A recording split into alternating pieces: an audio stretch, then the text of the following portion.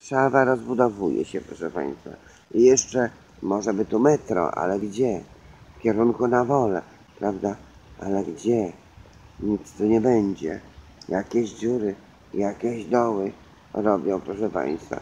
Pełno kotów tutaj, takich dzikich, które gdzieś biegają, biegają w wejścia i pod pałac, pod pałacem mieszkańcy Pałacu Kultury Stalina i Lenina. Zapraszamy do kinoteki na LGBT Festival, ale to będzie dopiero za rok, no nie cały rok, no ale